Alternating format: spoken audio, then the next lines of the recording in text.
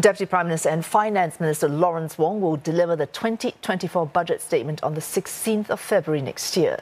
It will be broadcast live on television along with radio coverage. The Singapore Budget website will also live stream the speech.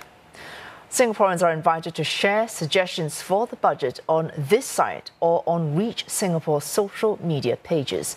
The Finance Ministry will also reach out to the public in the heartlands. Both digital and physical engagements will run until the 26th of January next year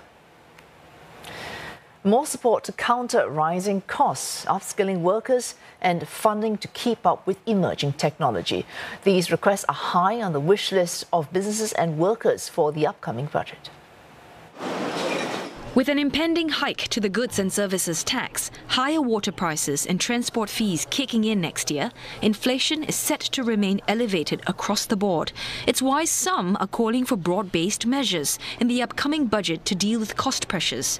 I hope there will be uh, continued uh, heavy dosage of support measures to help Singaporeans household cope with the high cost of living, uh, and in particular to broaden the assistance uh, so that more middle households, uh, families can uh, get, can have that assistance to cope with the rising costs.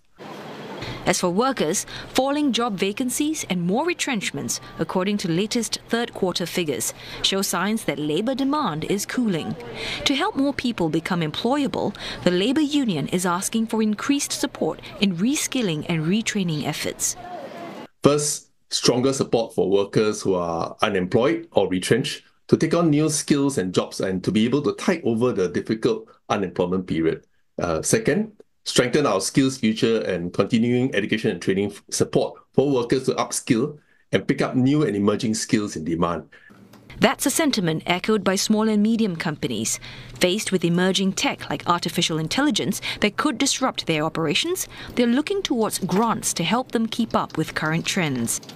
Many businesses um, have slowed down the adoption of uh, digitalization because some of the support grant has come down a bit, right? And I think the thinking is that you know uh, the support grant has been there for a while and many businesses would already have adopted.